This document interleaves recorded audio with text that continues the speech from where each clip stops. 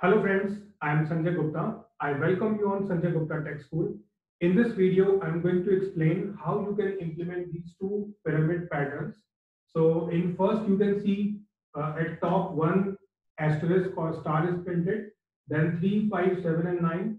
And if we go to second pattern, so it is having nine, seven, five, three, and one asterisk or stars. So before starting, if you go to detail or description of this video, you will find links of various playlists. Those are available on my channel. So you can watch them to learn more programming related videos, right? So now coming on to this. So first I am going to uh, explain how you can print this pattern and then we will do a minor change. And through that minor change, you will see how this pattern will be printed in form of this pattern, right? So first let's analyze this pattern, how it will be printed. So there will be total three loops uh, that we are going to use to print this pattern. So first loop will identify a row number. So this way we can identify the row number one, two, three, four, five. So in this pattern we have five rows. It means one loop will be there which will be controlling on which row we are currently, right? Then after controlling the row, uh, sorry, row number, we need to identify like how we can print these uh, spaces. So if we go here,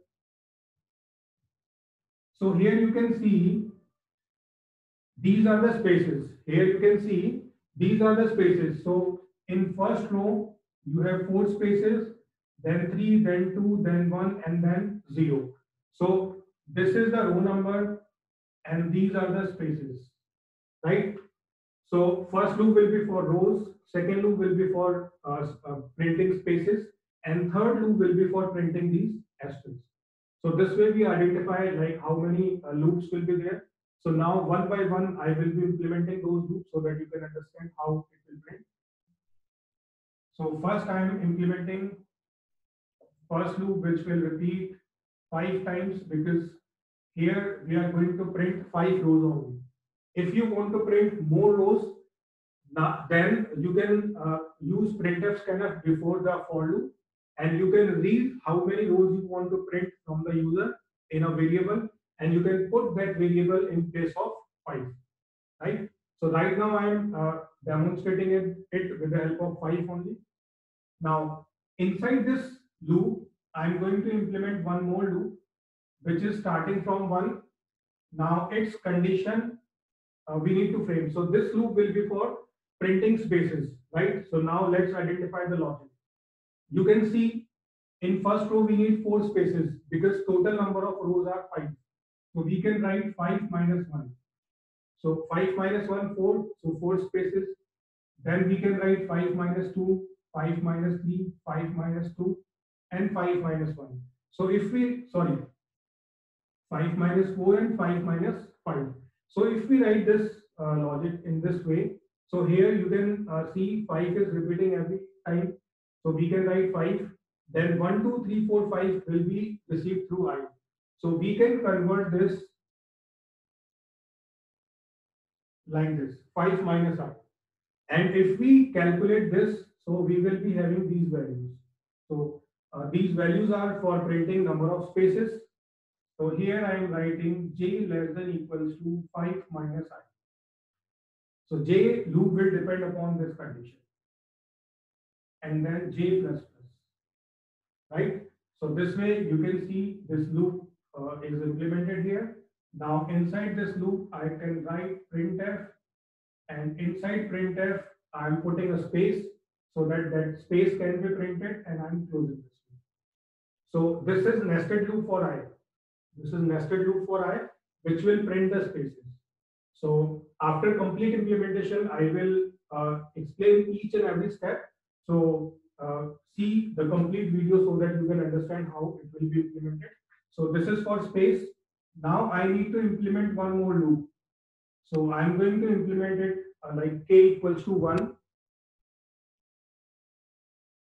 So it is starting from k. Now see here, number of asterisks. So 1, then 3, then 5, then 7, then 9.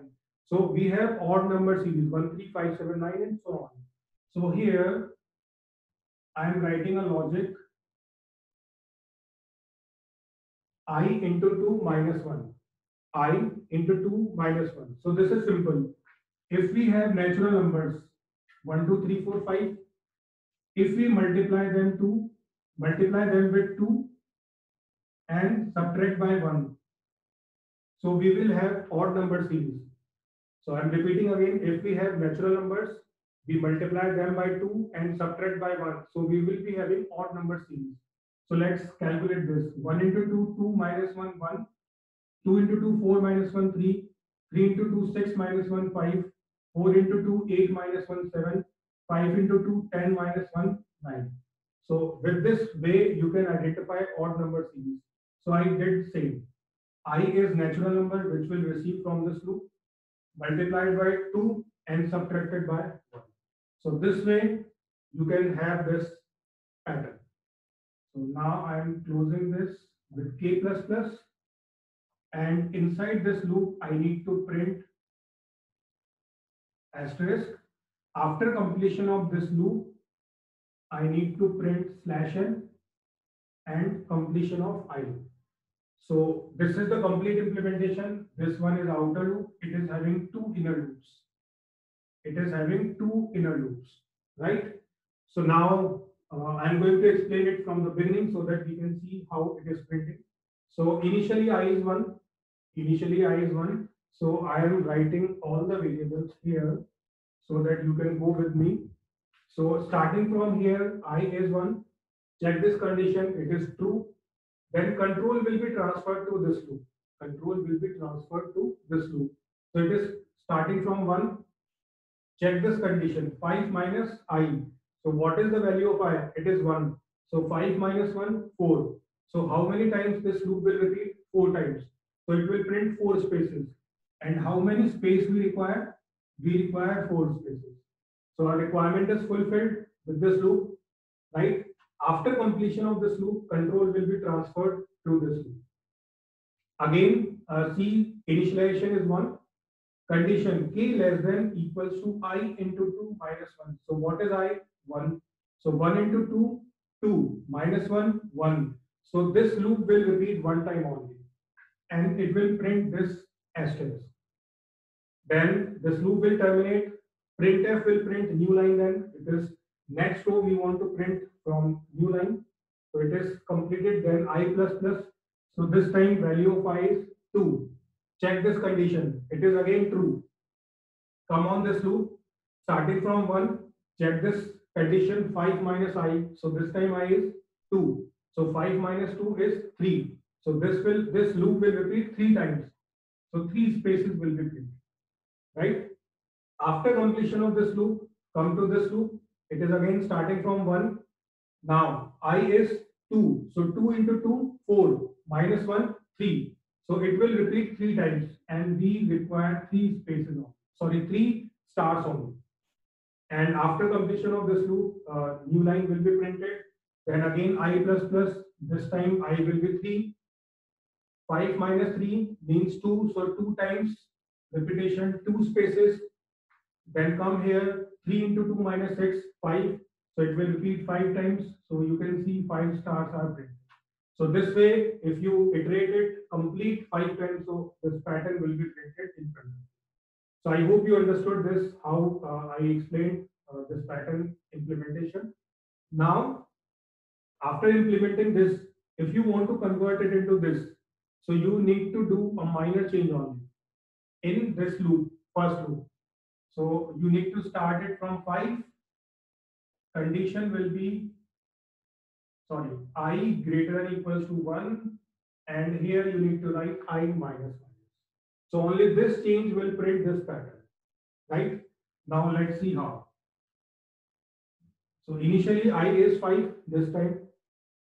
Check this condition, it is true. Come here, starting from 1. Now check this condition, 5 minus i. So i is 5. So 5 minus 5, 0. This loop will not repeat and we don't require any space because uh, we need spaces in this way. We need spaces in this way 0, 1, 2, 3, and 4. So we don't require any space. Then come to this loop. i is 5. So 5 into 2, 10. Minus 1, 9. So first time it will repeat nine times. So nine stars will be. This will complete new line, then i minus minus. So now i is 4. Check this loop. 5 minus 4, that is 1. So this loop will repeat one time. So one space is required. Come to this loop. 4 into 2 minus 1. So 4 into 2, 8 minus 1, 7. So this loop will repeat 7 times. So we require 7 stars.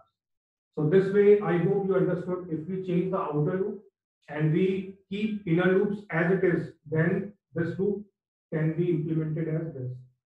So I hope uh, with these explanation, you understood how we can print these patterns with help of C program. Uh, if you want to watch more programming related videos, you can open my channel, go to playlist. So there you will find more than 1000 videos. So you can watch them. Uh, those are related to various programming languages.